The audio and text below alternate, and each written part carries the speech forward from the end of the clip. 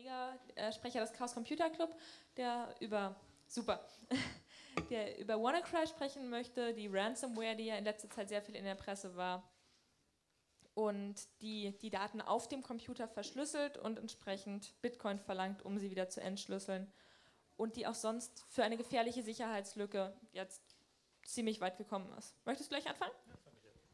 Vielen Dank. Ähm, gut, wer der Chaos Computer Club ist, brauche ich glaube ich nicht noch erklären. Oder doch? Ähm, ich bin ein Sprecher des Vereins. Äh, wir beschäftigen uns natürlich auch mit äh, Sicherheitslücken dieser Art. WannaCry war ähm, anders als viele vorhergehende Ransomware-Trojaner ähm, deswegen bemerkenswert, weil er auf einer Sicherheitslücke beruhte, beziehungsweise mehreren Sicherheitslücken beruhte, die ähm, für die NSA entwickelt wurden und die im Rahmen des sogenannten Shadow Brokers Leaks ähm, an die Öffentlichkeit gekommen sind. Ransomware ist quasi die Revolution in der, ja, sagen wir mal, digitalen Kriminalität. Die Kombination aus der Möglichkeit, über zum Beispiel Tor oder äh, auch andere Methoden solche Trojaner aus der Ferne zu steuern und die Festplatte des Opfers zu verschlüsseln und dann äh, für diese Entschlüsselung dieser Festplatte Geld in Form von Bitcoin oder Ethereum oder irgendeiner anderen äh, Währung, die digital übermittelt werden kann, zu verlangen, hat dazu geführt, dass sich dieses gesamte Universum von digitaler Kriminalität verändert hat. Während vorher war es so, dass Trojaner im Wesentlichen, sag mal, wenn man es mal so in Marketing-Sprech formulieren möchte, ähm, ein Business-to-Business-Geschäft war. Ne? Also man hat halt viele Computer infiziert und dann hat man dieses sogenannte Botnetz, was also eine Kontrolle über Tausende oder Hunderttausende von Computern war, dazu benutzt, um zum Beispiel Denial-of-Service-Angriffe zu fahren. Und die wiederum, diese Fähigkeit hat man dann vermietet oder verkauft. Und mit Ransomware hat sich dieses Geschäft gewandelt. Ist plötzlich eher sowas wie so ein Supermarkt geworden, nämlich man hat eine direkte Zahlungsbeziehung zum Endkunden. Sozusagen ein Business-to-Consumer, ein B2C-Geschäft. Und daraus resultiert eine völlige Veränderung ähm, der Gelddimensionen, die damit zusammenhängen. Ähm, während es früher so war, so ein, so ein Botnetz kann man sich immer noch mieten, das kostet irgendwie so, wenn es ein wirklich großes Botnetz ist, kostet es ein paar tausend Dollar am Tag. Also nicht wirklich viel Geld. Ähm, die großen Ransomware-Kampagnen, also die so ein bisschen nachvollzogen werden konnten, hat der Bitcoin-Adressen, die da äh, unterwegs waren, haben teilweise einige Millionen im Monat gemacht. Das heißt, dass damit die Kombination von Sicherheitslücken, die es erlaubt, eine Ransomware-Software auf einen Computer aufzubringen, hat plötzlich ein völlig anderes Monetarisierungspotenzial. Und daraus resultierte dann auch eine völlig andere Arbeitsteilung. Das heißt, die, wenn man sich diesen, diesen kriminellen Untergrund da so ein bisschen anguckt, was die da machen, ist, die arbeiten wirklich wie Businesses, die denken wie Businesses, die reden wie Businesses, weil es ist ein großes Business. WannaCry war nun insofern interessant, als dass ein Großteil der Arbeit, die die sich sonst machen müssen, nämlich halt irgendwie Exploits finden oder so polieren, dass die halt irgendwie benutzbar sind, um äh, zuverlässig auf vielen Systemen zu laufen. Das hatte schon die NSA für sie erledigt. Nämlich ein Exploit, der bei der NSA unter dem Namen Eternal Blue lief. Ähm, Blau wissen wir, hat immer was mit Windows zu tun, von Bluescreen. Und tatsächlich war es so, dass dieser, dieser Exploit dazu diente, Windows-Kisten, die ein bisschen älter waren, aufzumachen nachdem die Shadow Broker irgendwann gesagt haben, oh, übrigens, ähm, wir haben diese Exploits und wir werden sie halt irgendwann mal releasen oder werden sie verkaufen, hat offensichtlich die NSA dann der äh, Microsoft Bescheid gesagt. Und Microsoft hat dann einen Patch äh, released, allerdings nur für neuere Windows, nicht für alte Windows. Abgesehen davon, ich weiß nicht, wer von euch Windows benutzt, ähm, das, Patch also das Patch-Verhalten von Windows ist jetzt nicht besonders freundlich. Ne? Also es geht halt irgendwann los, und lädt sich halt irgendwie gigabyteweise Daten runter, was dazu führt, dass viele Leute es einfach ausgemacht haben. Unter anderem zum Beispiel Leute, die Software schreiben für Bahnhofsanzeigetafeln. Weil da will man nicht, dass da plötzlich so ein Fenster hochpoppt, auf dem steht, ja, du kannst jetzt leider nicht wissen, wann der nächste Zug fährt, weil, hey, ich muss jetzt mal ein Update laden. Ist doof, kann ich verstehen. An vielen anderen Stellen ist es eher nicht so gut verständlich, wie zum Beispiel in Krankenhäusern, wie es in Großbritannien passiert ist, äh, wo die NHS, also die, das nationale Gesundheitswesen, halb runtergefahren war. Äh, alle möglichen Unternehmen haben vorsichtshalber schon ähm, ihre Netzwerke runtergefahren, weil sie wussten, dass sie da altes Windows drin haben, was ungepatcht ist. Und daraus resultierte natürlich eine Panik, die ein bisschen größer war, als eigentlich dem eigentlichen Schadenspotenzial angemessen war, aber die dazu führte, dass wir die politische Diskussion führen können, die da dran hängt, nämlich dieser Exploit war der NSA offensichtlich seit ungefähr fünf Jahren bekannt. Und ähm, es gab danach Presseberichte darüber, wo Leute aus der NSA mit der Washington Post zum Beispiel geredet haben und die haben gesagt, so naja, also wir wussten schon, dass das Ding eine ziemliche Atombombe ist, weil dieser Exploit ermöglicht es jedem Computer, der ähm, SMB, also einen File-Sharing-Service offen hat, über das Internet oder im Internet anzugreifen. Äh, und zwar erfolgreich, stabil und ohne große Probleme. Und das ist halt ein ähm, ja eine Fähigkeit, die, die gibt es sonst so ohne weiteres nicht. Also normalerweise sind diese Exploits ein bisschen komplizierter, dass man halt einfach so mit Guten Tag, ich möchte mal jetzt bitte deine Daten haben, an die Daten kommt, ist normalerweise eher selten, also heutzutage zumindest. Und die ähm, haben da trotzdem drauf gesessen. Das heißt, die haben diesen Exploit erst an Microsoft gemeldet, ähm, als klar war, dass jemand anders ihn hat. Und die waren sich dessen durchaus bewusst, dass sie da ein Problem haben können, weil Natürlich gucken auch andere Leute auf ihre Firewall-Logs und gucken, was da so durchflutscht. Und die, denen war das Risiko schon bewusst, dass jemand, den sie angreifen mit diesem Angriffswerkzeug, guckt, was eigentlich in seinen Netzen passiert und analysiert, wie denn zum Beispiel ein Angriff passiert ist, diesen, diesen Angriff reverse engineert, also nachvollzieht, wie er funktioniert und dann selber anwendet. Und der NSA war auch vollkommen klar, dass wenn das passiert, dann haben sie ein richtiges Problem, weil auch in den amerikanischen Regierungssystemen, in den Geheimdiensten und im Verteidigungsministerium sind Hunderttausende von Computern betroffen gewesen. Und sie haben trotzdem gesagt, ach nö, den behalten wir mal für uns. Eigentlich gibt es, was mit dem Mikrofon komisch? Alles gut? Okay. Eigentlich gibt es ähm, in, diesem, in dieser amerikanischen Geheimdienstwelt ähm, dafür einen Prozess. Das ist der sogenannte Vulnerabilities Equity Process der sagt, okay, liebe Geheimdienste, wir müssen abwägen, was das Risiko ist zwischen, dass wir selber mit so einem Exploit angegriffen werden, den ihr gefunden habt, und dass ihr den selber braucht, um ähm, ja, andere Leute anzugreifen und deren Rechner aufzumachen. Und da muss man irgendwie drüber diskutieren und dann muss man ein bisschen abwägen und dann muss man entscheiden, ob man lieber dem Hersteller Bescheid sagt oder ob man eine Weile drauf sitzt. Offensichtlich ist es aber so, dass dieser Prozess so genau überhaupt nicht funktioniert. Weil jeder auch nur halbwegs klar denkende Mensch hätte bei so einem, also bei so einem Exploit wie, wie Eternal Blue gesagt, so, ja, schönen Exploit habt ihr da, aber irgendwie eine Million Regierungssysteme angreifbar ist vielleicht doch ein bisschen viel dafür, was irgendwie da, ihr damit anfangen könntet. Was also passiert, ist offensichtlich, dass die Geheimdienste diesen Prozess komplett unterlaufen und einfach sagen so, naja Gott, ihr habt ja sowieso keine Ahnung. Die, für die deutsche Diskussion ähm, ist der, der wichtige Aspekt dabei folgender. Wir sind ja gerade mitten in der Diskussion über ähm, die Quellen-TKÜ. Ähm, da liefen letzte Woche die Anhörungen, Linus war da, und die, was die da versuchen, ist jetzt noch so auf den letzten Metern, ähnlich wie mit diesem Netzwerkdurchsetzungsgesetz, ähm, eine Gesetzesgrundlage zu schaffen, um mit Trojanern ähm, eine sogenannte Quellen-TKÜ, also eine Quellentelekommunikationsüberwachung durchzuführen. Was Sie sich da vorstellen, ist, dass unter denselben rechtlichen Voraussetzungen, unter denen man bisher eine normale Telefonüberwachung äh, veranlassen kann, was einige 10.000 Mal im Jahr passiert. In der Regel, ich glaube, es sind über 80 Prozent Drogenfälle, korrigiert mich jemand, der die Statistik besser im Kopf hat, ähm, sind die auf dem Weg zu sagen, okay, unter denselben rechtlichen Voraussetzungen wollen wir Computer trojanisieren können und dann mit dem Trojaner halt nur Kommunikation abhören. Deswegen Quellen Telekommunikationsüberwachung. Die rechtliche Grundlage dafür ist, dass in dem Urteil des Bundesverfassungsgerichts ähm, äh, zum Staatstrojaner es leider so einen Fremdkörper gibt, dass also in diesem Urteil steht drin, wenn dieser Trojaner nur für die Telekommunikationsüberwachung verwendet wird, ähm, dann ist das schon okay. So, und wenn man sich diesen Artikel, also dieses, dieses Urteil so durchliest, sieht man, das, das muss da später rein editiert worden sein, kurz vor, bevor es beschlossen wurde.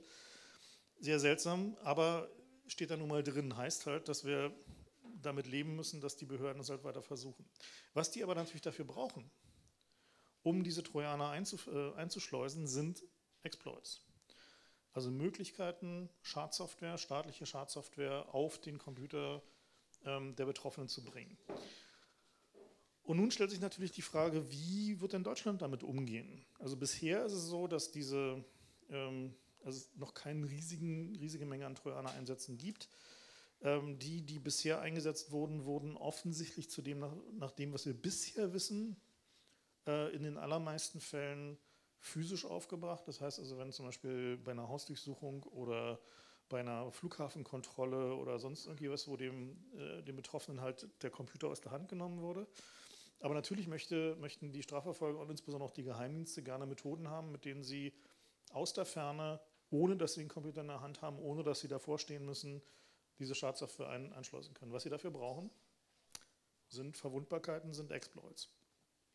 Und nun stellt sich natürlich die Frage, wie wird in Deutschland diese Politik dafür definiert? Also wie äh, ist die, die Definition für unsere Strafverfolgungsbehörden?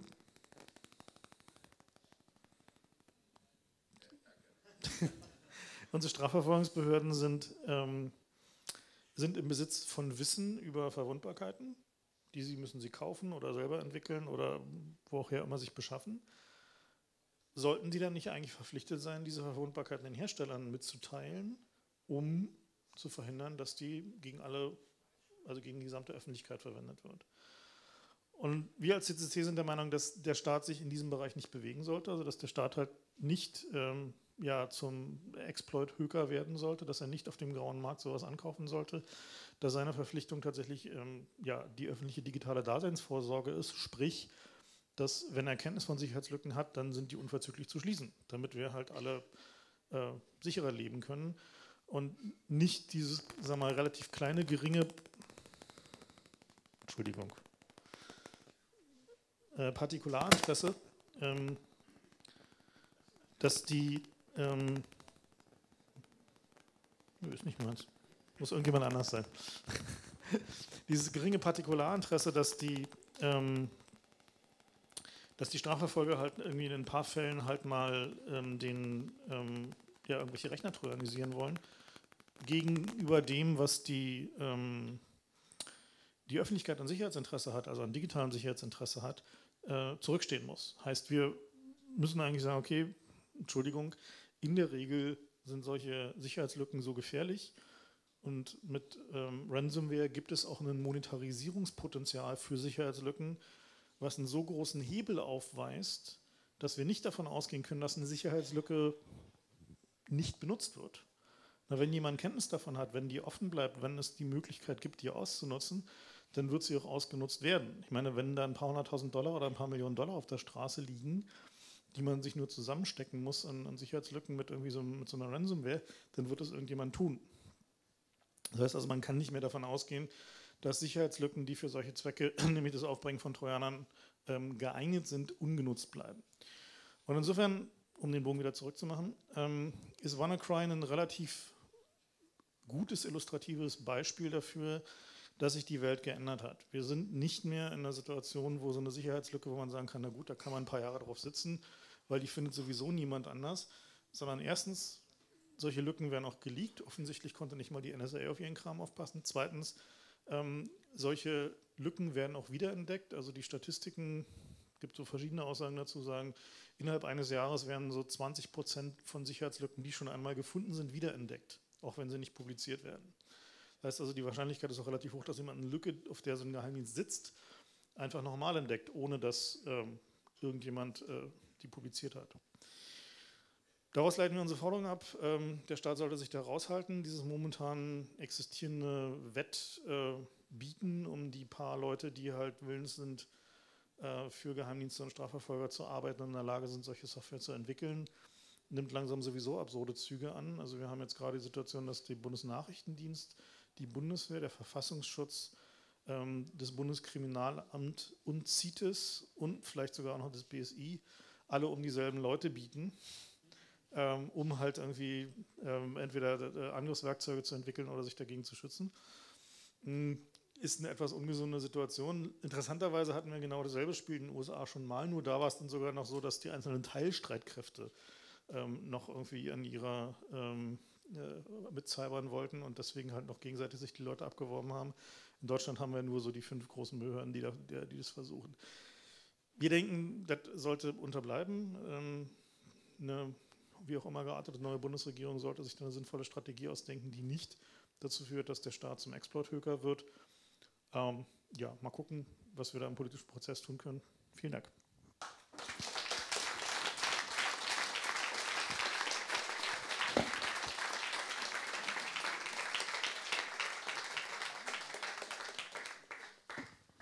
Danke. Wenn ihr wollt, habt ihr jetzt auch noch kurz die Gelegenheit, ein oder zwei Fragen an Frank Rieger zu stellen zum Thema Wanna Cry. Gibt es jemanden? Da hinten. Ein. Mh, hm, auch gut. Ähm, es gab ja jetzt irgendwie ein paar Leaks, also Shadow Brokers, dann irgendwie diese CIA-internen Wikis, äh, Wort 7 und so weiter, die geleakt wurden. Ich gehe ja davon aus, dass die äh, Dienste einfach so eine Dinge machen und das dann halt irgendwie durch Zufall rauskommt. So, ähm, und ich gehe halt auch davon aus, dass die nächste Bundesregierung definitiv CDU beteiligt sein wird. Ähm, was kann man da machen? Also ich sehe nicht, dass irgendwie so Dienste werden Dienste Dinge tun, so wie die Bildzeitung halt irgendwie Bildzeitungszeug schreibt. Ähm, die werden ihr Interesse nicht daran verlieren. Äh, ist halt das Problem, wenn sie irgendwie keine fähigen Leute finden, so was ja jetzt aktuell, glaube ich, das Problem ist, dass wir halt irgendwie keine Leute finden, die für das Geld, was sie anbieten, arbeiten wollen. Ähm, das, glaube ich, so momentan meiner Meinung nach die einzige Hemmschwelle ist dafür äh, oder dagegen. Ist aber ein einigermaßen großer Hebel. Also ich meine, deinen Freunden, von denen du glaubst, dass sie in der Lage sind, für solche Behörden sinnvolle äh, beziehungsweise ähm, Tätigkeiten durchzuführen, die nach denen die suchen, denen zu erklären, pass auf, ähm, wenn du für die arbeitest, ähm, dann trennen sich unsere Wege, ist äh, tatsächlich eine relativ effiziente Methode, um zu verhindern, dass die in der Lage sind, im größeren Umfang äh, solchen Schindluder zu treiben. Ganz einfach. Genau dasselbe gilt halt irgendwie für Unternehmen, die halt irgendwie in dem Bereich unterwegs sind, also gerade so Sicherheitsboutiquen. Ähm, wenn man einfach sagt, so, okay, wir machen halt keinen kein Offensive-Kram, wir machen, entwickeln keine Angriffswerkzeuge, sondern wir konzentrieren uns halt auf Abwehr, auf Defense, ähm, dann trocknet man damit halt die, den möglichen Talentpool ähm, für solche Behörden wie BND oder Verfassungsschutz halt dramatisch aus und sorgt dafür, dass die halt irgendwie im besten Fall mit, mit mittelmäßigen Kram unterwegs sein können. Das ist eigentlich eine valide Strategie. Da ist noch eine Frage. Einen Moment bitte. Hallo, gibt es eine Möglichkeit, die Größenordnung abzuschätzen, die investiert wird in den Kauf von durch die Behörden, als zum Beispiel durch öffentliche Etats oder ähnliches? In Deutschland bisher nicht wirklich. Also wir wissen halt nur von einigen wenigen Ankäufen aus dem BKA-Budget, beim Bundesnachrichtendienst gab es dazu nicht wirklich verwertbare Zahlen. Und noch andere, korrigiere mich bitte. Moment, man hört es im Stream nicht, wenn du nicht ins Mikro sprichst. Ähm, wo? Ohne Mikro hört man dich nicht, warte. Ja, aber dann, dann bin ich am Stream. Äh, ich müsste jetzt meinen eigenen Artikel von vor einer Weile nachlesen. Ich glaube, BND hat mehrere Dutzend Millionen Euro, ich glaube um die 50 Millionen oder so, um äh, Instant Messenger zu knacken und in Exploits zu investieren. BKA habe ich gerade nicht parat, aber die CITES-Zahlen sind auch öffentlich, die bewegen sich auch so in mehrere Dutzend Millionen Euro. Aber äh, wie relevant ist jetzt, ob das jetzt 12 oder 50 Millionen Euro sind, das sind auf alle Fälle zu viele.